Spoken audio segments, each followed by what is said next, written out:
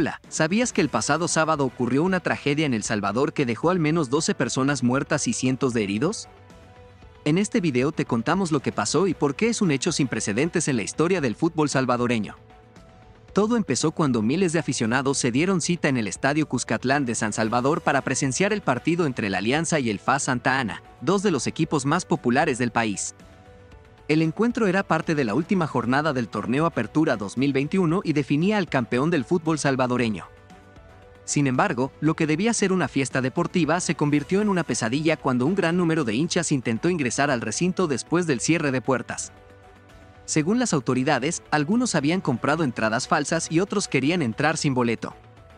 Fue entonces cuando se produjo una estampida humana que aplastó a decenas de personas contra las vallas metálicas del túnel de acceso al estadio. Algunos lograron llegar a las gradas y luego al campo, pero otros quedaron atrapados y asfixiados bajo el metal. El partido se suspendió a los pocos minutos de iniciado, cuando se escucharon gritos de auxilio desde las tribunas. Los servicios de emergencia llegaron al lugar y trasladaron a los heridos a los hospitales más cercanos. También se vio a algunos aficionados agitando sus camisetas a las personas en el suelo para tratar de refrescarlas. El saldo final fue de 12 fallecidos, entre ellos 7 hombres y 2 mujeres mayores de 18 años. Además, se reportó que 90 personas recibieron atención médica y que muchas sufrieron múltiples traumas. El presidente de El Salvador, Nayib Bukele, calificó el suceso como sin precedentes y anunció una investigación exhaustiva para determinar las responsabilidades. También dijo que todos los partidos de fútbol de todas las categorías quedaban suspendidos este domingo.